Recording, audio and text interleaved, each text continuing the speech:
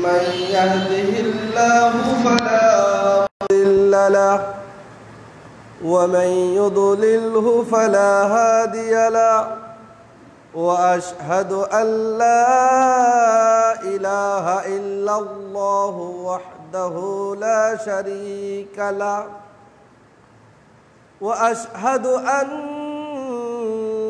محمدا عبده ورسوله.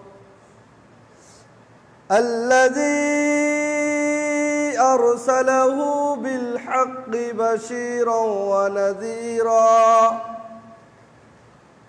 وداعيا إلى الله بإذنه وسراجا منيرا. أما بعد فإن خير الحديث كتاب الله. وخير الهدي هدي محمد صلى الله عليه وسلم وشر الأمور محدثتها وكل محدثة بدعة وكل بدعة ضلالة وكل ضلالة في النار. أما بعد فقد قال الله تبارك وتعالى في الكلام المجيد والفرقان الحميد. بعد أعوذ بالله من الشيطان الرجيم. بسم الله الرحمن الرحيم. يا أيها الناس اتقوا ربكم الذي خلقكم من نفس واحدة وخلق منها زوجها وبث منهما رجالا كثيرا ونساء واتقوا الله الذي تساءلون به والأرحام. إن الله كان عليكم رقيبا. يا أيها الذين آمنوا اتقوا الله وقولوا قولا سديدا. يصلح لكم أعمالكم ويغفر لكم ذنوبكم ومن يطيع الله ورسوله فقد فاز فوزا عظيما. يا أيها الذين آمنوا اتقوا الله حق تقاته ولا تموتن إلا وأنتم مسلمون. وقال تعالى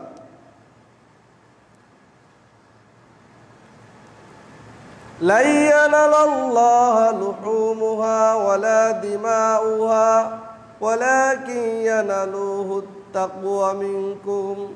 إلى آخر الآية.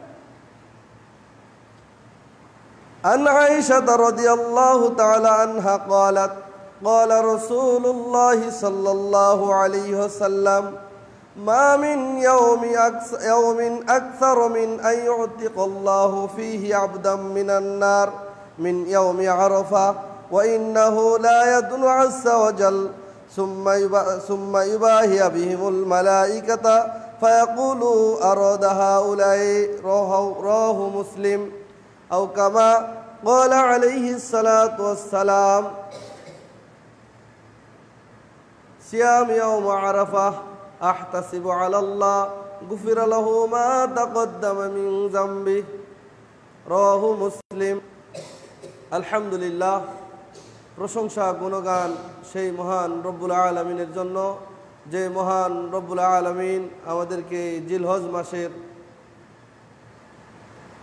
জুমার দিনে মসজিদে আসার জন্য তৌফিক দান করলেন তারই বরগাহে শুক্রিয়া আলহামদুলিল্লাহ দুরুদ ও সালাম বর্ষিত হোক সৈয়দুল মুরসালিন নবী মোহাম্মদুর রসুল্লাহ সাল্লাহ আলী সাল্লামের পর اللهم صل على محمد وعلى آل محمد كما صليت على إبراهيم وعلى آل إبراهيم إنك حميد مجيد اللهم بارك على محمد وعلى آل محمد كما باركت على إبراهيم وعلى آل إبراهيم إنك حميد مجيد উপস্থিত মুসল্লিবৃন্দ জিল হজ মাস হজের মৌসুম চলছে হাজি সাহেব যারা আছেন তারা মক্কায় চলে গিয়েছেন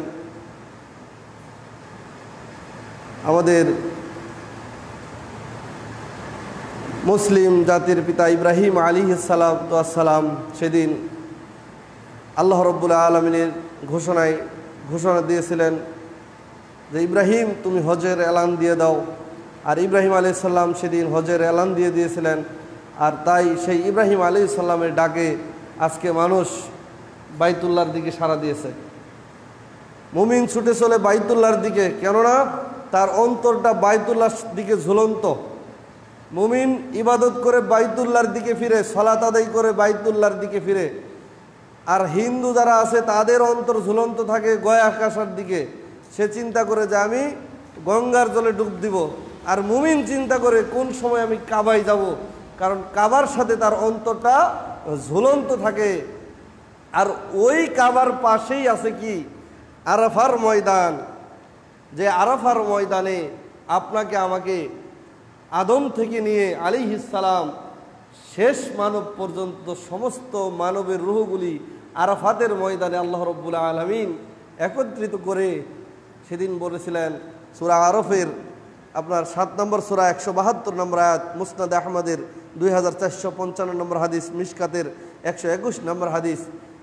আল্লাহ নবী সাল্লাহ আলি সাল্লাম বলেছেন, সমস্ত রুহগুলোকে রুহের জগতে আলমে আরও আয় ওই আরাফার ময়দানে সমস্ত রুহগুলিকে একত্রিত করে আল্লাহ জিজ্ঞেস করেছিলেন, আলাস্তু বিরব্বিকুম? আমি কি তোমাদের রব নই?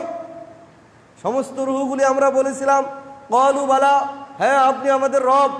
ওই যে ওখানে ওয়াদা দিয়ে আসছিলাম, আর এই জন্য ওই মমিনের অন্তর সবসময় টানে ওই আরাফার মাঠের দিকে বাইতুল্লার দিকে। মমিনের টান হলো ওই বাইতুল্লার দিকে, কে না চায় যে একবার কাবা ঘর গিয়ে তফ করে আসি? কার মন না চায়? এমন কোনো মুসলিম আমার মনে হয় নাই, নাস্তিক হলে ভিন্ন কথা। কাফের, মুরতাদ ভিন্ন কথা। এমন কোনো মুসলিম ধনী, গরিব যার টাকা নাই, তার অন্তর কাঁদে, যে আমার মনটা চায় আমি একবার বাইতুল্লাহ গিয়ে হজ করে আসি। কাপড়ের ব্যবসায়ী, ভ্যান চালক। ভ্যান চালক। আপনার টাকা আছে, হজ করেন না, ভ্যান চালক।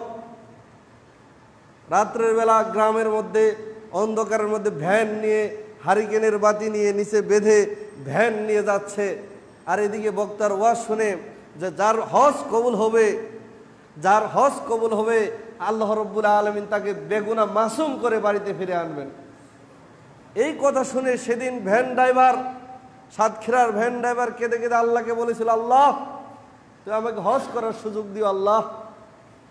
আল্লাহ, তুমি আমাকে হজ করার তৌফিক দিও ভ্যানের ড্রাইভার, গ্রামের মধ্যে বাড়ি। টাকা পয়সা নাই, আল্লাহ, তুমি তৌফিক দিও, দোয়া করেছে। দোয়া করেছে নেওয়ার মালিককে। আল্লাহ, কবুল করার মালিক আল্লাহ। আমার উস্তাদ বলছে যে, আমি হজের সফরে মানুষকে হজ শিক্ষা দিচ্ছি। যে কীভাবে হজ করবেন? তো ওই লোককে হঠাৎ জিজ্ঞেস করছি, আপনি কি করেন? তো আমি ভ্যান চালাই। সুবহান আল্লাহ হামদি সুবহান আল্লাহ আপনি ভ্যানের চালক হজে আসলেন কি করে? এবার ভ্যানের চালক বলে, যেদিন আমি মাহফিলের মধ্যে যাই নাই, বাহির থেকে শুনতেছিলাম এই কথা, যে হজ করলে যদি হজ আল্লাহ কবুল করেন, তার সমস্ত গুণাখাত আল্লাহ মাফ করে, বেগুনা মাসুম করে বাড়িতে ফিরে আনে। ওই দিন আল্লাহকে কেঁদে কেঁদে বলছিলাম, আল্লাহ, তুমি আমাকে হজ করার তৌফিক দিও। ওই দিন থেকে আমি বিশ টাকা, তিরিশ টাকা করে জমাই। ওর হজ ফরজ না, কিন্তু তার মনের একটা আকুতি, যে আল্লাহর ঘর আমি তফ করব। যে গরিব তার উপর হজ ফরজ না, কিন্তু তার মনের একটা টান। মন আমি বুঝাই। আমি এটা বুঝাচ্ছি আপনাকে যে মুমিনের টান কোথায়? বাইতুল্লার দিকে, তার মনটা বাইতুল্লার দিকে চলে গেছে।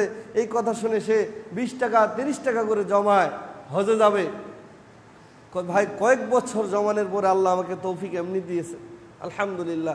এই আল্লাহ আমাকে তৌফিক দিয়েছে। আল্লাহ আমার দোয়া সেদিন কবুল করেছিল। এই জন্য আমি বাইতুল্লাহ এসেছি। মুমিনের টান কোথায়? বাইতুল্লাহ হারামে ঝুলন্ত হৃদয়। যারা একবার হজ করে আসছে, তাদেরকে জিজ্ঞেস করেন, মন চাই যে আবার যেতে। ঘুমের মধ্যে স্বপ্ন দেখে হজের সময়, যে আমি মনে হয় বাইতুল্লাহ তফ করি।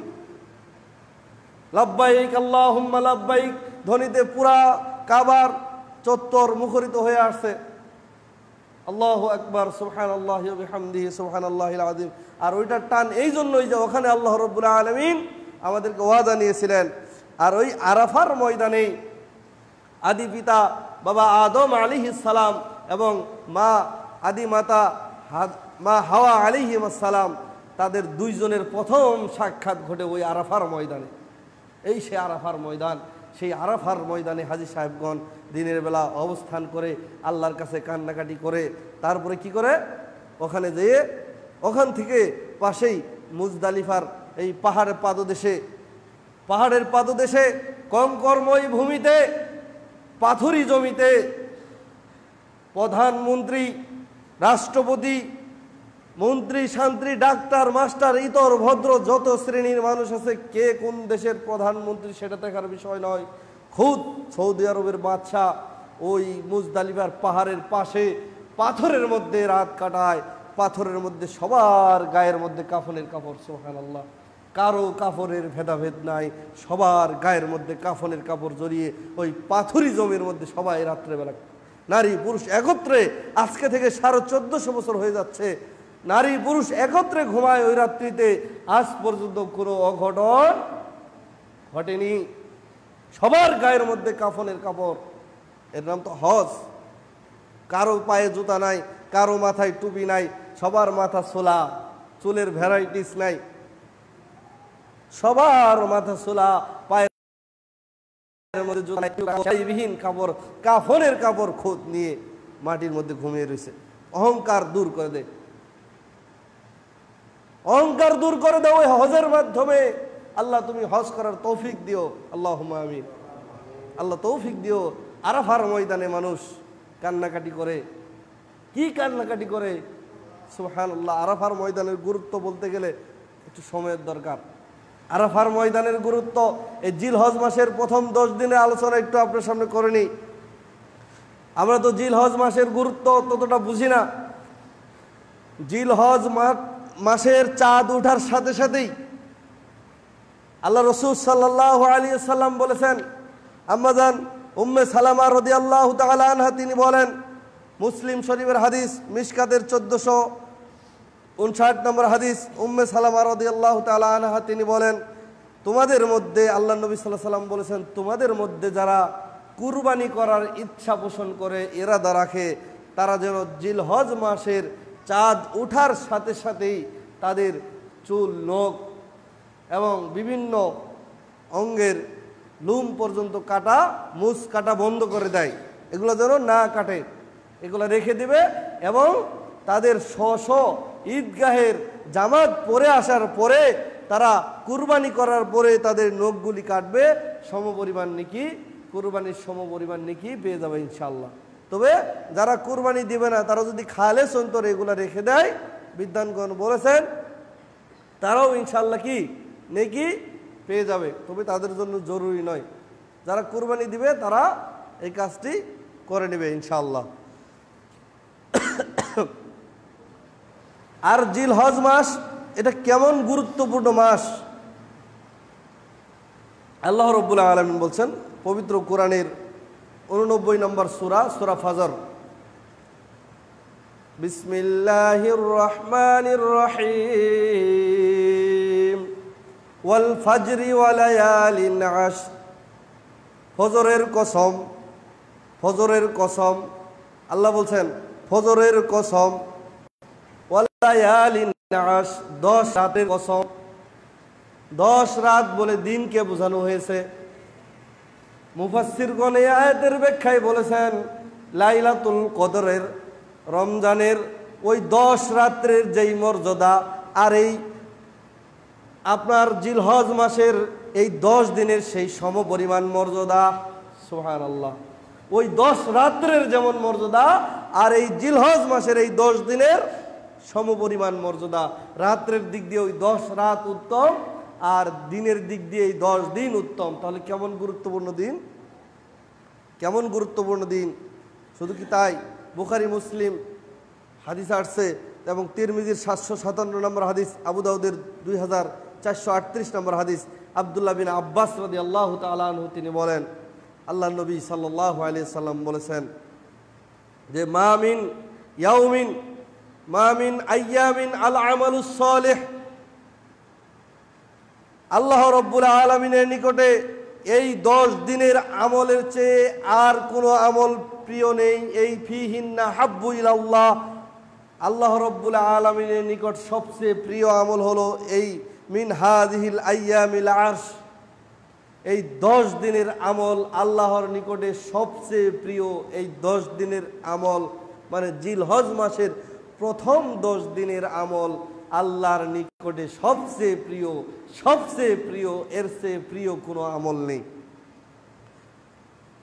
ফাকলু ইয়া রসুল আল্লাহ সাল্লাহ আলী সাল্লাম সাহাবিগণ শুনে জিজ্ঞাসা করলেন, আল্লাহ রসুল সাল্লাহ আলি সাল্লাম ওলাল জিহাদু ফি সাবিল্লাহ জিহাদু কি আল্লাহর কাছে এর চেয়ে প্রিয় নয়? জিহাদ করা তো সর্বোত্তম কাজ। ইয়া রসুল ফাকল ইয়া রসুল আল্লাহ সাল্লাহ আলী জিহাদু ফি সাবিল্লাহ আল্লাহর নবী বললেন, জিহাদু, জিহাদও নয়, জিহাদের চেয়ে উত্তম হলো এই দশ দিনের আমল সুহান আল্লাহ জিহাদ জিহাদ আল্লাহ ফরজ করেছেন। এই ফরজ জিহাদের চেয়ে উত্তম আমল হলো আল্লাহর নিকটে জিলহজ মাসের এই দশ দিনের আমল। কিন্তু মানুষ বুঝে না জিলহজ মাসের দশ দিন কি আমল। অথচ ফরজ নয়, নফল। আল্লাহ নবী বলেছেন যে জিলহজ মাসের প্রথম দশ দিনের আমল আল্লাহর নিকটে জিহাদের চেয়েও প্রিয়, তবে ইল্লা রজুলান খরজা বিনাফসিহি অমালিহি ফালাম যালিকা শাইইন। যে ব্যক্তি আল্লাহর রাস্তায় তার জানমাল নিয়ে বেরিয়ে গেছে জিহাদের জন্য, আল্লাহর রাস্তায় যার জানমাল নিয়ে বেরিয়ে গেছে আর ফিরে আসেনি শহীদ হয়ে গেছে, শহীদের মর্যাদা ভিন্ন আল্লাহর নবী বলেন, যে ব্যক্তি আল্লাহর রাস্তায় শহীদ হয়ে যায়, তার প্রথম ফোটা রক্ত বের হওয়ার সাথে সাথে আল্লাহ তার সমস্ত গুণাগুলি মাফ করে দেন এবং শহীদের কিয়ামতের ময়দানে হাত বা কাটা, শহীদের রক্ত মাখা শরীর নিয়ে কিয়ামতের ময়দানে যখন আল্লাহর কাছে তার রক্তের মধ্য থেকে সুগ্রাণ বের হতে থাকবে এবং ওই শহীদের আল্লাহ রব্বুল আলমিন সত্তর জন মানুষকে, তার আত্মীয় স্বজনকে আল্লাহ ক্ষমতা দিবেন। সে বেছে বেছে বেছে বেছে মুমিনদেরকে জান্নাতে নিয়ে যাবে। শহীদের মর্যাদা ভিন্ন। যদি শহীদ হয়ে যায়, তার কথা ভিন্ন। শহীদ ব্যতীত কোনো আমল আল্লাহর কাছে এত প্রিয় না, যত প্রিয় এই দশ দিনের আমল। রেখেছেন কি দশ দিনে দু একটা সিয়াম? রেখেছেন কি দু একটা সিয়াম? স্পেশালভাবে সাদগা করেছেন।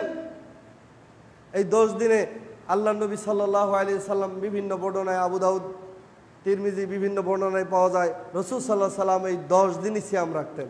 সাহাবাইকার এই নয় দিনই সিয়াম রাখতেন, দশ দিনই সিয়াম রাখতেন। আমাদের একটা সিয়াম রাখা হয় না। আল্লাহ নবী সাল্লাহ সাল্লাম বললেন যে জিহাদের যে উত্তম আমল এই দশ দিনের আমল আল্লাহর নিকটে। এবং এই দশ দিনের একটি দিন আছে, সেটি হলো আরাফার দিন যেটা বলতে বিদ্যান বলছেন যে, ভাগা কোরবানি যায় যে দেখ, আপনি উত্তমটা নেন। আপনি উত্তমটা গ্রহণ করুন। সমস্যা কি? আর যে একাদে দেখ, এটা নিয়ে তো মারামারি, ঝগড়া, সমাজের মধ্যে ফেতনা, ফাসাদ। কোনো দরকার নাই। ফরজ নিয়ে তো কেউ মারামারি করে না যে, আজকে ফজরের সালাদ পড়ছি কিনা, ওকে ধর। কেউ বলে কথা? কুরবানি নিয়ে এত মাতামাতি কেন? কই সমাজের মধ্যে এই কথা বলে না? আজকে ও এক মাস ধরে মসজিদে ওকে দেখি না। ওকে দেখি না মসজিদে ফরজ সালাত আদায় করে, ও কোথায় আদায় করে? ওকে ধরো আর বিচার করো। এ কথা তো কেউ বলে না। ও কুরবানি ভাগে দিল না একা দিল, এই নিয়ে সারাদিন ধরে মাথা ব্যথা। এই জিল হজ মাসের প্রথম দশ দিন ও একদিন শ্যাম রাখে না। এটা তো সুন্নত। এত মাতামাতির দরকার নাই।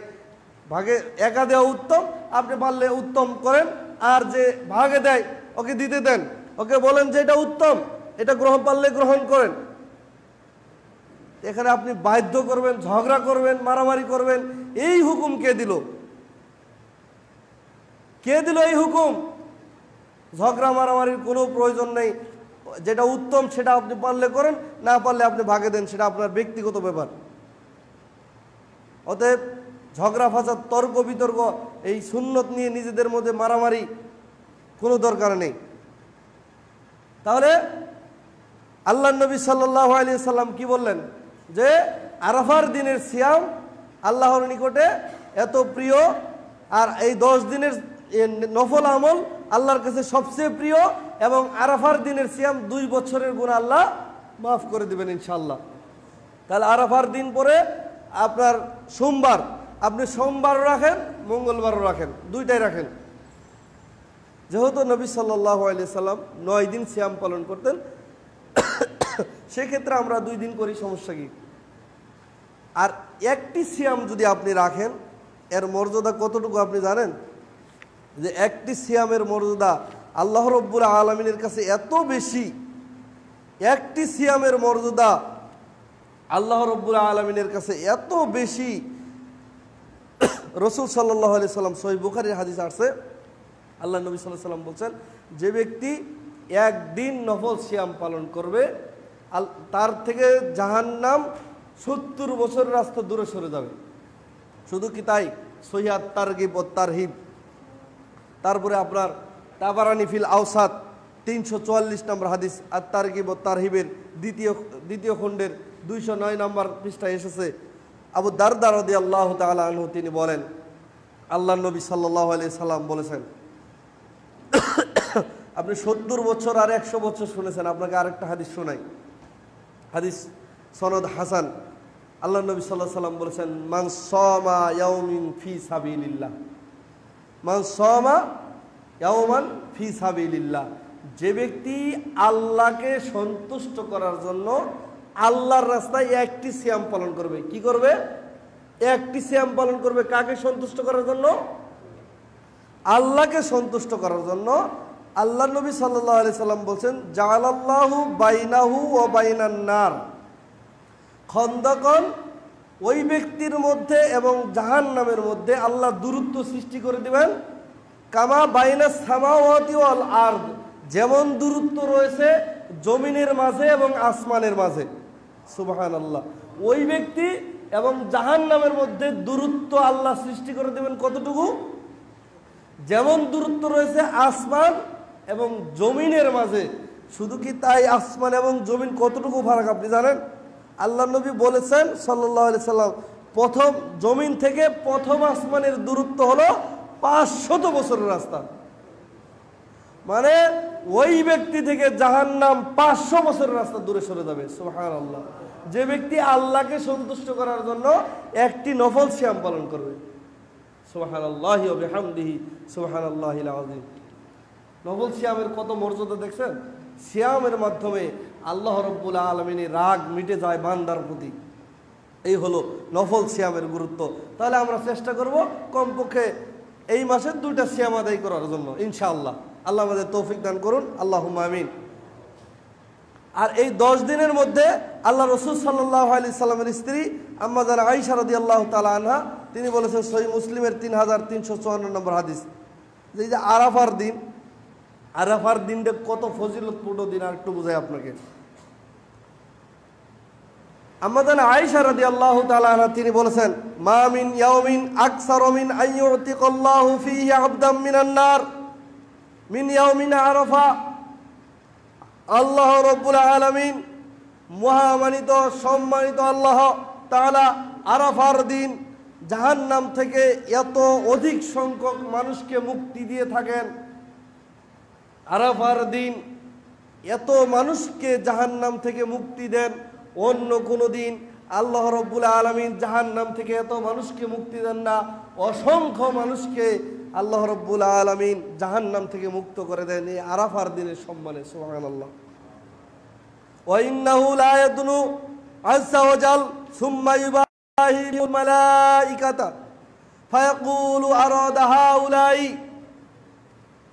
এই আরাফার দিন আল্লাহ রব্বুল আলমিন বান্দার নিকটে চলে আসেন এবং আরাফাবাসীকে নিয়ে আল্লাহ রব্বুল আলমিন ফেরেস্তাদের নিকটে গর্ব করে ওরা কি চায়?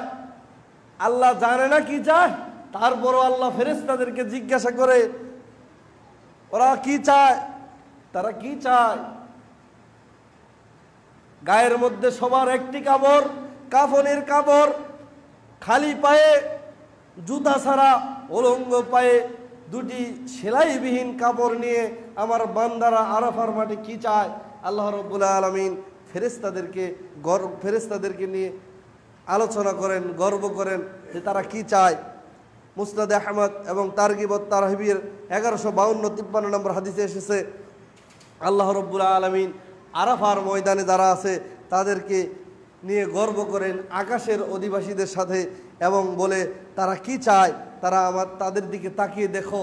ও ফেরেস্তারা তোমরা তাকিয়ে দেখো আরাফার ময়দানে এই সমস্ত লোকগুলি এক ভাষায় লাভবাইক আল্লাহ লাভবাইক এই বলে কি চাচ্ছে?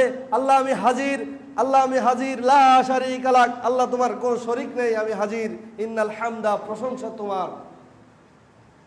মান্দারা কি চায়? ফেরেস্তারা তোমরা দেখো।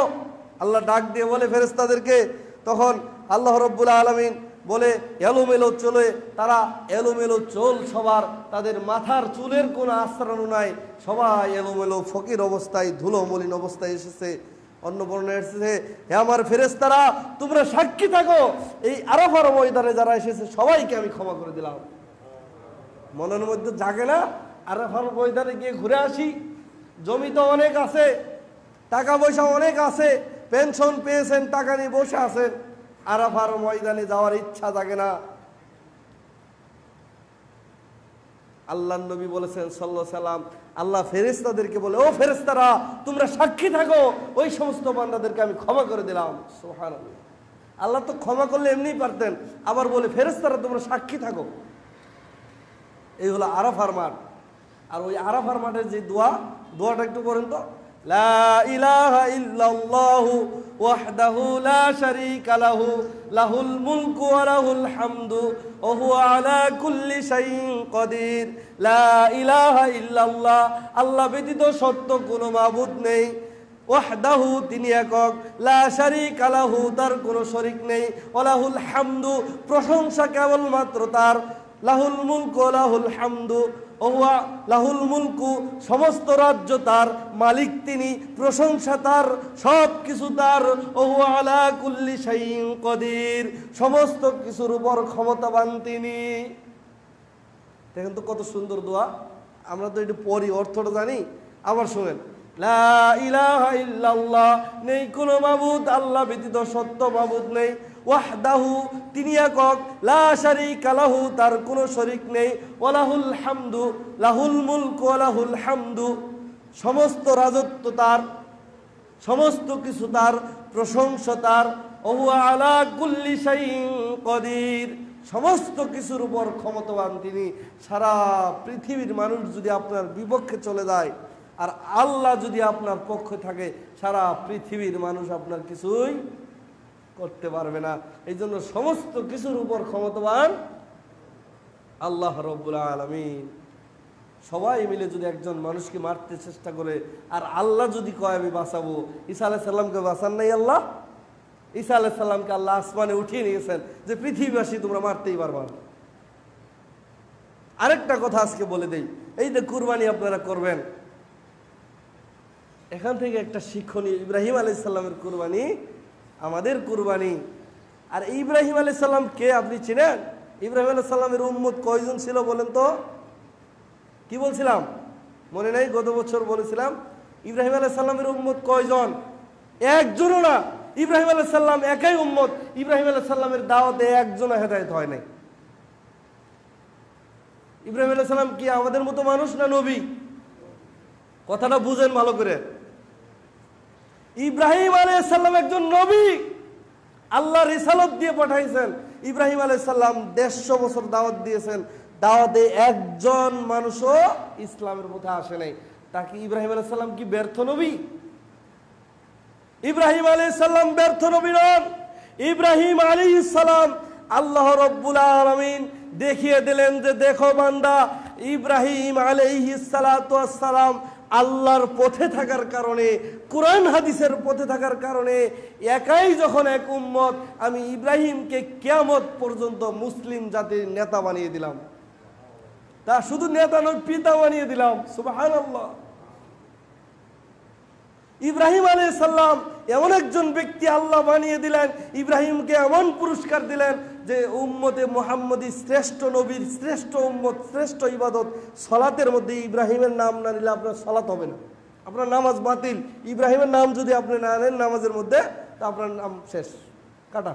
আপনার সলাৎ কাটা, বাদ। সুবহান আল্লাহ দেখছেন নি কোরআন হাদিসের পথে থাকার ফজিলত কি? সারা পৃথিবীর মানুষ যদি কোরআন হাদিসের বাইরে যায়, আর একজন যদি কোরআন হাদিসের পক্ষ থাকে, তাহলে সেটা আল্লাহর কাছে বেশি মর্যাদা।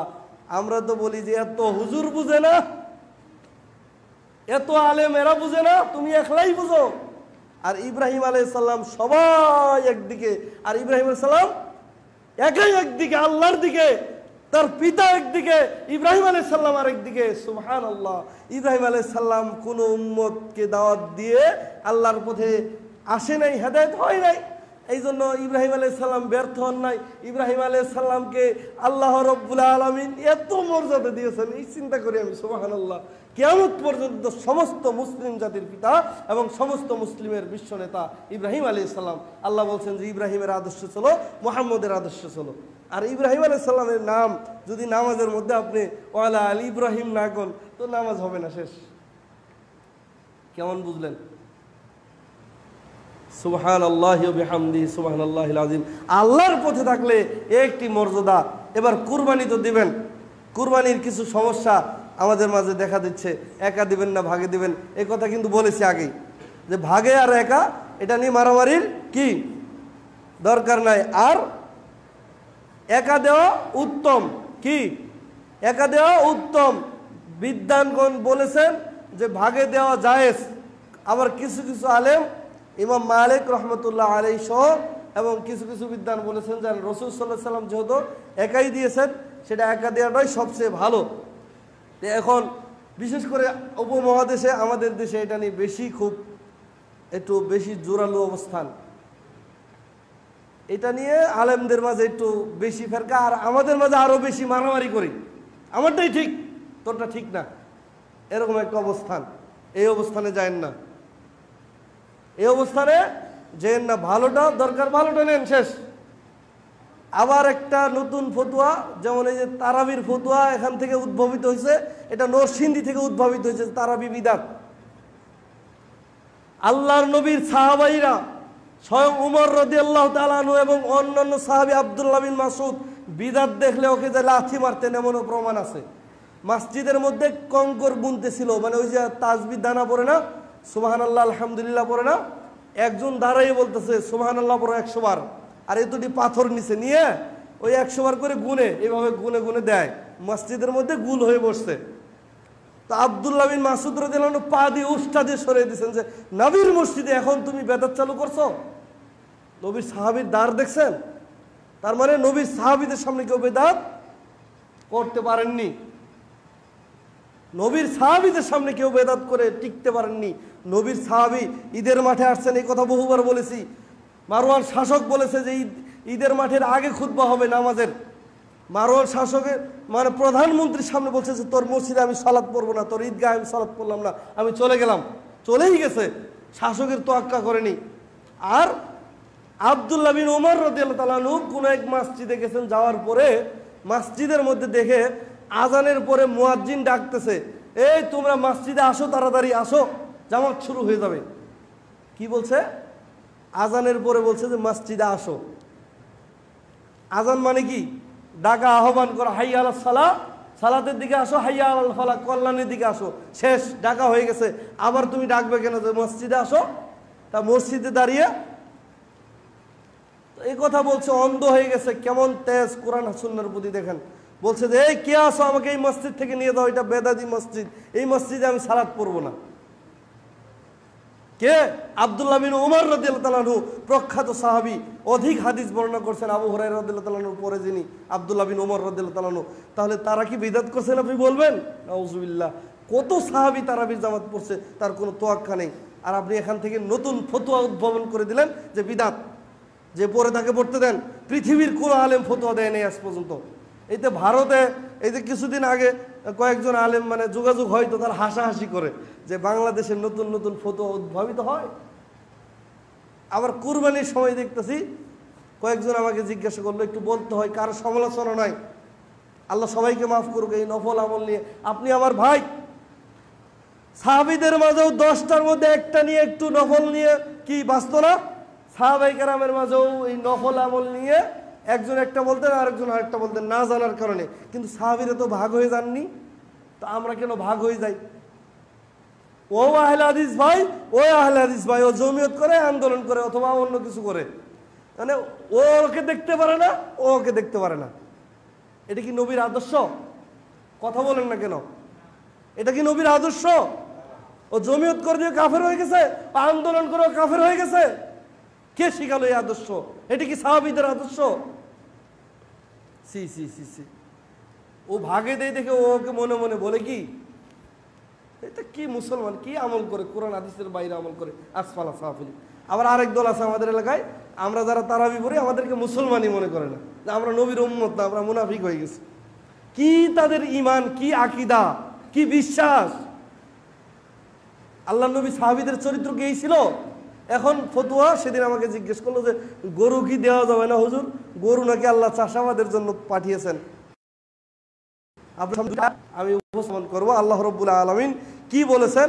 আমরা না পারলে দেখে বলি, কিন্তু ভুলটা বলার চেষ্টা করি না। মানুষ হিসেবে ভুল। আমি একজন মানুষ, আদম সন্তান। আমার ভুল হতে পারে, আমি মানুষ। আল্লাহ নবী বলছেন, আদম ভুল করে, তার সন্তানরাও কি করে? ভুল করে। কুরবানি। আল্লাহ রব্বুল আলমিন বলছেন যে সুরা হজের সাঁত্রিশ নম্বর সুরা চৌত্রিশ নম্বর আয়াত একটু মনোযোগ দিয়ে শোনেন আপনার বিভ্রান্তি কেটে যাবে أعوذ بالله من الشيطان الرجيم ولكل أمة جعلنا منسكا ليذكروا اسم الله على ما رزقهم من بهيمة الأنعام অলিকুল্লি উম্মাতিন জাহাল্লা প্রত্যেক উম্মতের মাঝে আমি কুরবানি রেখেছিলাম। কি রেখেছিল? সমস্ত উম্মতি কি দিয়েছে? কুরবানি দিয়েছে। আর কি দিবে? মানসাকান লিয়াজ কুরুসমাল্লাহ যাতে তারা এই কুরবানি করার সময় আল্লাহর নাম উচ্চারণ করতে পারে। কেন? আলা মা রজাকহম মিম বাহিমাতুল আনআম। এই চতুষ্পদ যন্ত্র যা দিয়ে তাদের রুজি আসে, কি আসে? চতুষ্পদ জন্তু দিয়ে মানুষের রুজি আছে না? আল্লাহ বলছেন যে উটকে আমি তৈরি করেছি মানুষের বোঝা বহন করার জন্য। আর গবাদি পশু, গরু, ছাগল, গরু মানুষ হাল চাষ করে, গরুর গোবর দিয়ে মানুষ সার বানায়, গরুর দুধ বিক্রি করে মানুষ কি করে? খায়, নিজে খায় এবং বিক্রি করে নিজে আরেকজন কি করে? চলে। যার একটা গরু আছে, গাভী আছে, তার আর কিছু লাগে, দুইটা গাভী থাকলে সে গাভী দিয়েই চলতে পারে, আলহামদুলিল্লাহ। আল্লাহ বলছে যে, গবাদি পশু দিয়ে মানুষের রুজি আসে। কি আসে? রুজি আসে। ছাগল এমনও ছাগল আছে, এখন আড়াই কেজি দুধ হয়। ছাগল দহন করে দুধ খায়, আবার ছাগলের গুস্ত খায় মানুষ। আবার ছাগলের সারও হয়। হয় না? কম বেশি তো হয় নাকি? হয় না? হয়। যার যতটুক আছে, সে ততটুক বলবে। এখন গরু আল্লাহ নবী সাল্লাহ সাল্লাম গরু দেন নাই, গরু দেওয়া যাবে না। গরু শূন্য ছাগল সুন্নত বেশি, গরু সুন্নত কম। এ কথা বলার অধিকার কে দিল আপনাকে? আল্লাহ আল্লাহ বলেছেন, চতুষ্পদ জন্তু কি? চার পায়ে জানোয়ার কি? চার পায়ে জানোয়ার গরু দিয়েছেন, আর যেখানেই দিয়েছেন, গরু দিয়েছেন, ছাগল দিয়েছেন, উট দিয়েছেন, দুম্বা দিয়েছেন, দুম্বাটা বেশি দিয়েছেন। এখন আমাদের দেশে দুম্বা নাই। নবী যা করছেন আমিও তাই করব। তো নবীর মসজিদ ছিল খেজুর পাতার ছাউনি। আমার মসজিদ কি সম্ভব খেজুর পাতার ছাউনি? মানুষ পারবে না, কোনো জায়গায় ছাগল আছে, কোনো জায়গায় নাই। যার যেটা সম্ভব সে সেটা দিবে। এখন বলবেন যে তাকুয়ার বিষয়, ছোটো বস্তু দিয়ে দিলে তাকুয়া বেশি হয়। এমনও ধনী মানুষ আছে, এমনও গরিব এলাকায় এক একজন ধনী মানুষ আছে, আপনি বিশ্বাস করেন আর নাই করেন, যেটা আমি দেখেছি, কাউকে ছোটো নয়, আপনি দেখেন। তার বাড়িতে একটা গরু দিলে, এত মানুষ আসে, এত ফকির আসে, একটা গরু তার কোলায় না, সেদিকে তাকায় না। গরুর গুস্ত সবই দিয়ে দিছে। হাবের সাহেবরা জিজ্ঞেস করেন যে একজনে গরু জবাই করছে? গরুর গুস্ত এত মানুষ আসছে, দিতে দিতে দিতে দিতে সব শেষ। এখন শেষ গুস্ত আরও তিনজন ফকির আইছে। এখন ঈদের দিন তিনজন মানুষ আসছে, নদী ভাঙ্গা, তাদের গুস্ত পায় নাই। তো ওদের দিকে তাকিয়ে ওই ব্যক্তি আরেকটা গরু পাল থেকে জবাই করছে। ও কি লুক দেখানোর জন্য করছে, আপনি বলবেন? বলেন। আরেকটা জবাই করেছে, বসেন, গুস্ত আপনাদেরকে দিচ্ছি। তার মনে তাকুয়াটা দেখেন তো। সে একটু আগেও কিন্তু কল্পনা করে নেই যে গরু আরেকটা জবাই করবে। মানে এত মানুষ বেশি, আপনার এখানে তো লোক- কম। গত বছর গিয়েছিলাম না আমরা কুরবানির গুস্ত নিয়ে মনে আছে যে গাজীপুর থেকে আমরা পাঁচ মন, ছয় মন গুস্ত নিয়ে গেছি নদী ভাঙ্গা এলাকায়। ওদের তো গরুই নাই, কুরবানি দিবে থেকে নিয়ে যাওয়ার সাথে সাথে মানুষ এমন ভাবে আসছে যে গুস্ত খাবে, আমাদেরকে ছিঁড়ে খাবে। আর আপনি মাসের পর মাস খাইতেছেন। হুশ পান না। ছাগল কয়জনকে দিবেন? ছাগল দেওয়া উত্তম আল্লাহ নবী দিয়েছেন। তবে গরু কুরবানি সুন্নত, উট উত্তম ওলামাই কেরামগণ বলছেন সবচেয়ে উট কি? উত্তম, তারপরে গরু, তারপরে ছাগল। কিন্তু আল্লাহ নবী সাল্লাহ সাল্লামের পছন্দ কী ছিল? দুম্বা এবং খাসি, পাঠা, মাদি, সব চলবে কুরবানি এগুলো, চলবে। পাঠাকে খুদ বলছে, পাঠার মানে পাঠার গুস্ত পাঠা হলো কি? অনেকে বলছে যে খাসি কাটানো হয়, খাসির একটা খুদ হয়ে যায় না, বুঝলেন না খাসি কি করে? মুসলমানি করাই দেয় না আমাদের ভাষায়? খাতনা করাই দেয় না খাসির? তো অনেকেই বলছে যে খাসির একটা খুদ আছে, খাসি চলবে না। জি না, পাঠার গুস্ত দুর্গন্ধ কয়। কি কয়? পাঠার গুস্ত দুর্গন্ধ না? পাঠার কাজ দিয়ে যাওয়া যায় না। এই জন্য পাঠা যে খাসি উত্তম। কি উত্তম? খাসি উত্তম। এখন আমার খাসির সামর্থ্য নেই, আপনি আমার কথাটা বুঝেন। আল্লাহ রব্বুল আলমিন ইব্রাহিম আলাহ কি দিলেন? একটা দুম্বা পাঠিয়ে দিলেন। দুম্বা, ছোট্ট একটা দুম্বা দিয়ে আল্লাহ বললেন, অফাদাইনাহু বিযিবহিন আযীম। মহান এক কুরবানি আল্লাহ রব্বুল আলমিন ইব্রাহিম আলাইহিস সালামকে দিলেন। ইব্রাহিম আলাইহিস সালামের কুরবানি আল্লাহ দেখেন নাই, ছোট বড় কথা নয়। ইব্রাহিম আলাইহিস সালামের মনটা আল্লাহর সাথে ঝুলন্ত। ইব্রাহিম আলাইহিস সালাম যখন রাত্রে রাত্রে স্বপ্ন দেখে বৃদ্ধ বয়সে একটা সন্তান ইব্রাহিম আলাইহিস সালাম পেয়েছেন আমরা সন্তানের মহাব্বতে নামাজ ত্যাগ করে দেই, ছেলে মেয়ে খাবে কি যদি কাম না করি? বলি না ভাই, কষ্ট হইতেছে, শেষ করে দেবো নাকি? আমরা বলি না যে আজকে যদি কাজ না করি, আমার ছেলে মেয়ে খাবে কি? বলি না ভাই। ইব্রাহিম আলাইহিস সালাম কি বলছে দেখছেন? যখন ইব্রাহিম আলাইহিস সালামের ছেলে আব্বা ডাকতে পারে, সাথে যাইতে পারে, ইব্রাহিম আলাইহিস সালাম সন্তানকে কোলে নিয়ে চুমা খায়, তখন আল্লাহ দেখল যে ইব্রাহিমের সন্তানের প্রতি তো মহব্বত বেশি। দেখি আমাকে বেশি ভালোবাসে না সন্তানকে বেশি ভালোবাসে? তখন আল্লাহ বললেন, ইব্রাহিম, তোমার প্রিয় বস্তু কোরবানি করো। যখনই আল্লাহ বললেন যে প্রিয় বস্তু, ফালাম্মা আসলামা ও তাল্লাহুলিল জাবিল। ইব্রাহিম আলাইহিস সালাম ছেলেটাকে ধরে উল্টিয়ে ফেলে দিলেন, আল্লাহ, তোমার বিধানের সামনে আমার সন্তান বড় নয়। আল্লাহ, তোমার হুকুম আমার কাছে বড়। আল্লাহ, আমার ছেলেকে দেখো, আমি জবাই করি, আমি উল্টিয়ে ফেলে দিলাম। তোমার বিধানের কাছে আমার ছেলে বড় নয়। আল্লাহ, আমার ছেলেকে দেখো, আমি জবাই করতে পারি তোমার জন্য। তুমি আমার সবচেয়ে প্রিয় ব্যক্তি। আল্লাহ, আমার স্ত্রী বড় নয়। আমার সন্তান আমার কাছে মহাব্বতের বেশি নয়, তোমার মহাব্বত, তোমার ভালোবাসাটা আমার কাছে বেশি। আল্লাহ দেখলেন, যে ইব্রাহিম আমাকে বেশি ভালোবাসেন এই জন্য জান্নাত থেকে দুম্বা আল্লাহ পাঠিয়ে দিলেন, দুম্বা কোরবানি করলেন। দুম্বা হতে পারে ছোট, কিন্তু ইব্রাহিম আলাইহিস সালামের তাকুয়া কি? মনের বাসনা, আপনার কোরবানিটা ছোট হোক, কিন্তু আপনার তাকুয়া যদি ভালো হয়, হোক গরু, হোক ছাগল, হোক উঠ আপনার অন্তর যদি ভালো হয়, সেটা ছোট হলেও কি আল্লাহর কাছে বিশাল। এই জন্য বলা যাবে না যে শুধু দুম্বাই দিবেন দুম্বা কি আমাদের দেশে আছে ভাই। আমরা দুম্বার গুস্ত খাওয়ার জন্য অনেকে আশা করি, তাই না ভাই? যে দুম্বাটা কেমন লাগে? করি না? অনেকে আছে দুম্বার গুস্ত খায় নেই জীবনে। এর উপরে কিয়াস করে ওলামায় কেরাম বলছেন যে মহিষও দেওয়া যাবে, তবে মহিষের চেয়ে গরু, ছাগল উত্তম। কিয়াস যেহেতু চার পায়ে জানোয়ার বলছে এখন বলতে পারেন যে মহিষ তো খারাপ দেখা যায় দেখতে। আরে ভাই, উটের চেহারাও তো ভালো না। ওইটা বলা যাবে না। যদি কেউ দেয় দিতে পারে, তাহলে আপনার কি দেখবে আল্লাহ? ওই যে আয়াত পড়েন আবার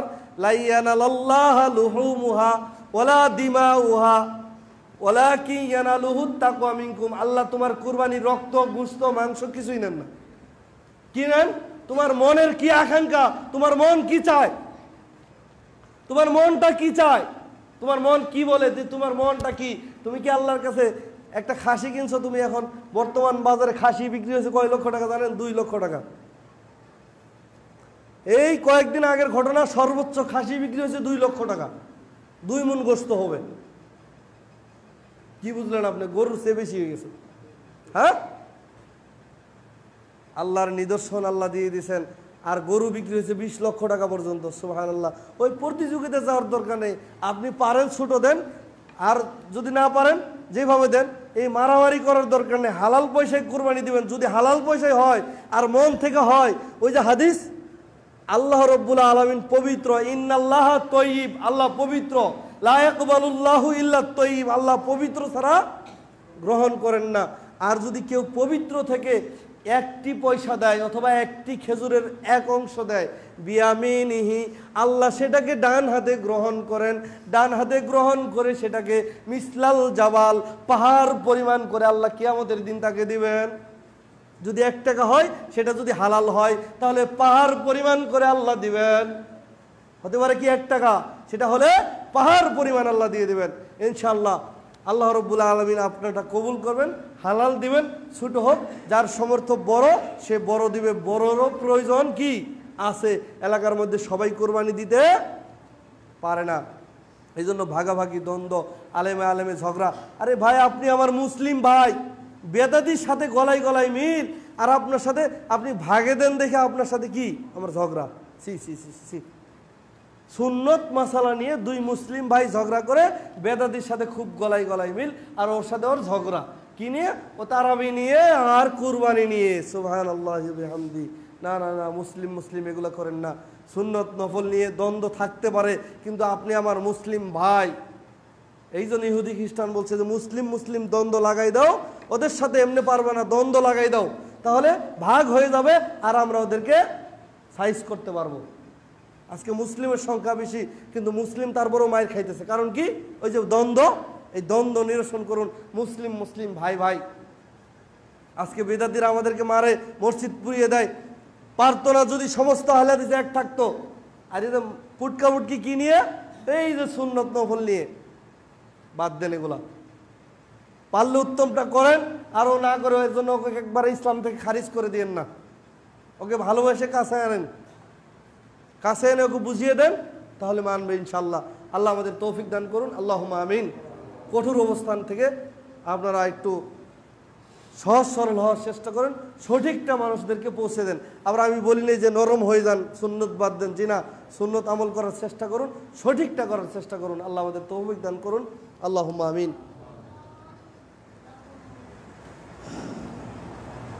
الحمد لله الحمد لله كفى وسلام على عباده الذين اصطفى أما بعد فأعوذ بالله من الشيطان الرجيم إن الله وملائكته يصلون على النبي يا أيها الذين آمنوا صلوا عليه وسلموا تسليما اللهم صل على محمد وعلى آل محمد كما صليت على إبراهيم وعلى آل إبراهيم إنك حميد مجيد اللهم بارك على محمد وعلى آل محمد كما باركت على إبراهيم وعلى آل إبراهيم ইন্নাকা হামিদুম মাজিদ উপস্থিত সম্মানিত মুসলিমবৃন্দ অনেকে হয়তো ঘরের দিকে তাকান মনে করেন যে আজকে সময় একটু বেশি নিল আমি কিন্তু সব সময় টাইম মধ্যে শেষ করি। এটা মুসল্লিদের কষ্ট বুঝি, অনেক ডায়াবেটিস রুগী আছে, অনেকের ঘন ঘন প্রস্রাব হয়। এটা ঠিক নয়, দেড়টা পর্যন্ত খুদবা দেওয়া। এটা আমি বিশ্বাসী নয়। তবে অনেক সময় যেহেতু জুমা আর নেই, কোরবানির ঈদের আগে জুমা যেহেতু নেই এই জন্য কিছু কথা বললাম। আবারও খেয়াল রাখবেন, অনেক সময় কোরবানি কিনতে যাইয়া আপনারা লেজ কাটা, কান কাটা এনে পরে জিজ্ঞেস করেন যে, হুজুর কোরবানির গরু তো কান কাটা পড়ে গেছে, লেজ কাটা পড়ে গেছে। এটা দেখবেন, আগে খেয়াল রাখবেন, দাঁতিল পশু। কি পশু? পশুটার দাঁত উঠছে কিনা, গরু, ছাগল উঠ, ভেড়া, দুম্বা, এগুলোর দাঁত উঠছে কিনা, সেটা দেখে কিনবেন এবং খুদ যেন না থাকে, মোটা তাজা প্রাণী কেনার চেষ্টা করবেন। আবার ওই বড়ি খায় ফুলাইছে, আইনে সেরে মরে যাব, এরকম চিন্তা একটু দেখে শুনে কিনেন। দালালের খপ্পরে দোয়া পরে বাজারে ঢুকবেন। দোয়া পরে বাজারে ঢুকবেন, দালাল আপনাকে পাবেন ইনশাল্লাহ মন তো থাকে যে তাড়াতাড়ি কোরবানি দিব। দালালের খপ্পরে বললে ওই যে ইঞ্জেকশন দেওয়া গরু দিবে, বাড়িতে এনে মরে যাবে। সাবধান। এদিক দিয়ে সাবধান। আর কারও কুরবানির পশু যদি হারিয়ে যায়, সামর্থ্য থাকলে আবার কিনবে, না থাকলে তার ওইটাই নিয়ে কি হয়ে যাবে ইনশাল্লাহ আর আরেকটা কথা, কয়দিন পরে জিজ্ঞেস করবেন কুরবানির দিন তো হুজুর, ভাগ কয়টা করব? আচ্ছা বলেন, কুরবানি কি ভুগ না ত্যাগ? সবাই বলেন, কুরবানি কি ভুগ না ত্যাগ? যদি ভুগ হয় ফ্রিজ একটা আছে আর একটা ডিপ কিনবেন। কি কিনবেন? একটা আছে আর একটা ডিপ কিনবেন গরু জবাই করবে, পুরোটাই ঢুকাই রাখবেন। এটা হলো ভুক আর যদি ত্যাগ হয়, তাহলে বেশিরভাগ মানুষকে দিয়ে দিবেন। কি করবেন? বেশিরভাগ দিয়ে দিবেন, নিজে অল্প একটু রাখবেন। এটা হলো ত্যাগ। আর যদি ভুগ হয়, তাহলে দুই ভাগ, এক ভাগ আত্মীয়ের নাম দিয়ে ঘরের মধ্যে ঢুকাই দেবেন। আর অল্প একটু সরকি দিয়ে দিবেন মানুষে খা তোরা কলিজা হ্যাঁ মগজ টগজ সব বাইসে নিয়ে এসে পড়বেন। আর যদি ভোগ হয়, সব নিয়ে এসে পড়বেন। আর ত্যাগ হলে বেশিরভাগ দিয়ে দিবে যে আল্লাহর জন্য দিয়েছি, গরিব খাবে, তারা খেয়ে শান্তি পাক। আচ্ছা ভাই গরিব মানুষ কি প্রতিদিন গুস্ত খায়? আমাদের এখানে যারা এতিম আছে, এরা মাসে একবার গরু খাইতে পারে না। আপনি তো প্রতিদিন খান। আপনি সপ্তাহে তিনবার খান, এমনও গরিব মানুষ আছে, এইবার কুরবানি দিয়ে খাইছে, কতবার আবার খাবে সামনে? আর আপনি গতবারটা এইবার খান। আল্লাহ নবী সাল্লাম বলছে, ও বেইমান ও বেইমান ও বেইমান যে পেট পুরে খায়, তার প্রতিবেশী না খেয়ে থাকে। কিসের ইমানদার তুমি? খোঁজ নাও না। এতিম আল্লাহ নবী সাল্লাহ সাল্লাম বলছেন, আপনার মাদ্রাসা ছাড়াও এতিম আছে, এলাকার মধ্যে এতিম নাই? নাই এতিম কই সমাজবাসী নিয়ে কয়দিন খোঁজ নিছে? কত এতিম, কত মানুষ মরে গেল? আমি দেখলাম কত এতিম, ছোট ছোট বাচ্চা আছে। সমাজবাসী কই উদ্যোগ নিয়েছে? তাদেরকে দুই টাকা দেয় সলাত আদায় করে না করে সেটা ভিন্ন কথা। সলাত আদায় করে না করে সেটা ভিন্ন কথা।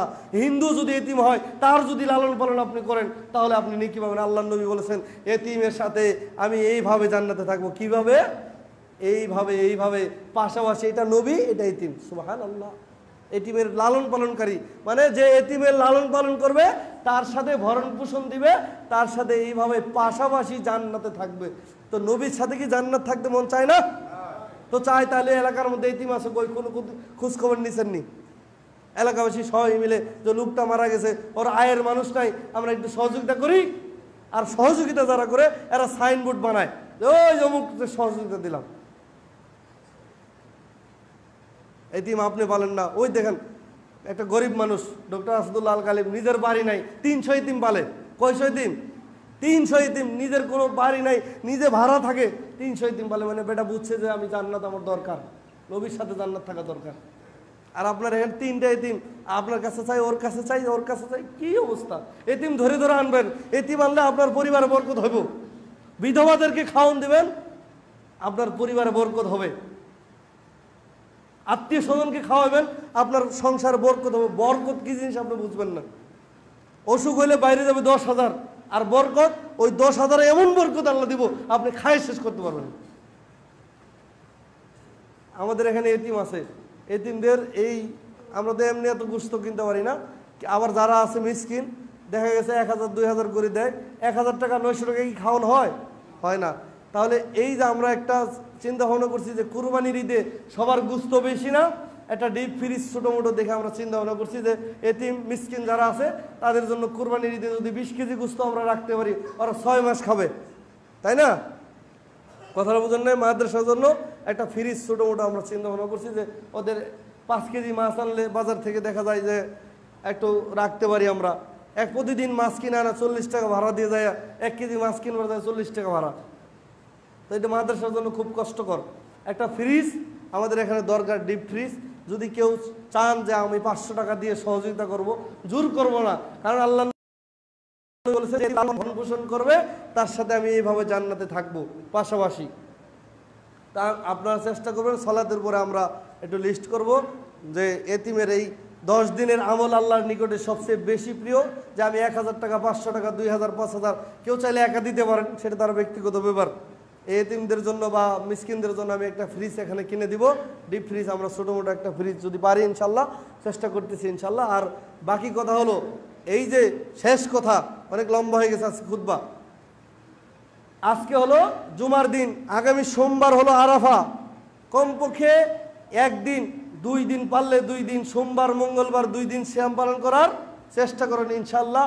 আল্লাহ নবী বলেছেন যে, এই একদিনের সিয়াম দুই বছরের গুণ আল্লাহ মাফ করে দিবেন, বাড়িতে মহিলারা যারা আসেনি, তাদেরকে বলে দিবেন, ভুল ত্রুটি মানুষের হয়, আমি মানুষ, আমি আদম সন্তান, আমি আদমের সন্তান, আমার ভুল হয়েছে, আমি আপনার কাছে ক্ষমা চাচ্ছি, আমি মানুষ হিসেবে আমার কথায় আপনি কষ্ট পেয়ে থাকলে, আচরণে কষ্ট পেয়ে থাকলে আমাকে ক্ষমা করে দেন, আপনাকে আমি ক্ষমা করে দিলাম, আল্লাহর কাছে আমরা দোয়া করি, জুমার খুদবার টাইমে আল্লাহ! আমার মুসলিম ভাইকে আমি ক্ষমা করে দিলাম। আপনি আপনার মুসলিম ভাইকে ক্ষমা করে দেন। পশুর সাথে সাথে মনের পশুটা জবাই করেন, তাহলে কুরবানি হবে। কি হবে? পশুর সাথে সাথে মনের পশু জবাই করে দেব আল্লাহ। তুমি আমাদের সবাইকে মাফ করে দাও আল্লাহ। আল্লাহ অন্তর থেকে খালেস অন্তরে বলতেছি, আল্লাহ সবাই মুসলিম ভাই, আল্লাহ সবাইকে তুমি মাফ করে দাও আল্লাহ। আল্লাহ আমাদের এখানে যারা আছে, আল্লাহ তুমি কি আমিন বলতে কষ্ট হয় নাকি? ক্ষমা করতে পারবেন না নাকি? নিজের ভাইকে ক্ষমা করতে কষ্ট হয়। সব কিছু ফেলে চলে যাবেন। আপনার জায়গা, জমি, আপনার সন্তান খাবে, কুকুর খাবে, কাফের খাবে মুশেক খাবে। আপনার এই জায়গায় আরও কত মানুষ মালিক হবে আর আপনি চলে যাবেন। ভাইকে মাফ করে দেন। অন্তর থেকে ভাইকে কি করেন? মাফ করে দিয়ে আল্লাহর কাছে দোয়া করে আল্লাহ, তুমি এই বরকতের দিনগুলিতে আল্লাহ, তুমি আমাদেরকে মাফ করে দাও, আল্লাহ। আল্লাহ অন্তর থেকে বলছে, আল্লাহ, তুমি আমাদের নারী পুরুষ যারা আছে, তাদেরকে তুমি ক্ষমা করে দাও, আল্লাহ। আল্লাহ, তোমার নাম গফুর রহিম। তুমি রহমানুর রহিম, তোমার অনেক দয়া আল্লাহ। এই জিল হজ মাসের প্রথম দশ দিন আল্লাহ, এই আমল তোমার কাছে অধিক প্রিয়। আল্লাহ, তুমি আমাদেরকে মাফ করে দাও আল্লাহ। তুমি আমাদেরকে কোরআন, সুন্নার সঠিক পথে আসার তৌফিক দান করো। আল্লাহ ইবলিশ শয়তান থেকে আল্লাহ, তুমি আমাদেরকে হেফাজত করো আল্লাহ। আল্লাহ, আমরা মানুষ আল্লাহ। আল্লাহ, আমরা আদমের সন্তান আল্লাহ, আমরা ভুল করি আল্লাহ। তুমি আমাদেরকে ক্ষমা করে দাও আল্লাহ। আল্লাহ, তোমার নবী বলেছেন যে, সবচেয়ে বেশি উত্তম গুণাগার ওই ব্যক্তি যে ভুল করে আল্লাহর কাছে ক্ষমা চায়, সে সে উত্তম গুণাগার, সে উত্তম মানুষ। আল্লাহ, আমরা ভুল করেছি। আল্লাহ, তোমার কাছে আমি ক্ষমা চাই, আল্লাহ। আমরা সবাই ক্ষমা চাই, আল্লাহ, তুমি আমাদেরকে মাফ করে দাও, আল্লাহ। আল্লাহ, আমাদের আত্মীয় স্বজন, মোমেন মোমিনার যারা অন্ধকার কবরে সাহিত্য আছে, আল্লাহ, তাদের কবর রাজাব তুমি মাফ করে দাও, আল্লাহ। আল্লাহ, অনেকের পিতামাতা, আত্মীয় স্বজন, আল্লাহ। আল্লাহ, পিতামাতা অন্ধকার কবরে সাহিত্য আছে, আল্লাহ। আল্লাহ, তুমি মানুষের মনের খবর ভালো জানো, আল্লাহ। আল্লাহ, তুমি পিতামাতার কবর রাজাবকে মাফ করে দাও, আল্লাহ। সন্তান হয়ে পিতামাতার জন্য দোয়া করে, আল্লাহ। পিতামাতাকে তুমি মাফ করে দাও। আল্লাহ অনেকের সন্তান কবরে চলে গেছে, আল্লাহ। আল্লাহ অনেকের সন্তান বিদেশের বাড়িতে রয়েছে, আল্লাহ। কুরবানির টাকা দেয়, তারা কষ্ট করে, আল্লাহ। ওই সমস্ত ভাই, প্রবাসী ভাইদেরকে তুমি মাফ করে দাও, আল্লাহ। তাদের দিনের সাথে সাথে, দুনিয়ার সাথে সাথে দিনের বুঝ তুমি দিয়ে দাও, আল্লাহ। আল্লাহ, প্রবাসী ভাইদেরকে তুমি হেফাজত করো, আল্লাহ। আল্লাহ, আমাদের মধ্যে অনেকে অসুস্থ রয়েছে, আল্লাহ, তাদেরকে তুমি সুস্থ দান করো, আল্লাহ। আল্লাহ রসুলের তরিকা অনুযায়ী কুরবানি করার তৌফিক দান করো আল্লাহ। আল্লাহ খালেস অন্তরে কুরবানি করার তৌফিক দান করো আল্লাহ। এই দশ দিন আল্লাহ তুমি আমাদেরকে ভালোভাবে, সঠিকভাবে তোমার নবীর সুন্নত অনুযায়ী আমল করার তৌফিক দান করো আল্লাহ। আল্লাহ আমাদেরকে হজ করার তৌফিক দিও আল্লাহ। তোমার বাইতুল্লাহ জিয়ারত করার তৌফিক দিও আল্লাহ। আরফার মাঠে যেয়ে যেন তোমাকে ডাকতে পারে আল্লাহ, সেই তৌফিক তুমি আমাদেরকে দিও আল্লাহ। মনে রাখো দি আল্লাহ, তুমি আমাদেরকে তৌফিক দিও আল্লাহ। ইয়া রব্বুল আলামিন মরণের সময় ঈমান নিয়ে মরার সব তৌফিক দান করো আল্লাহ ربنا تقبل منا انك انت السميع العليم وتب علينا انك انت التواب الرحيم اقيموا الصلاه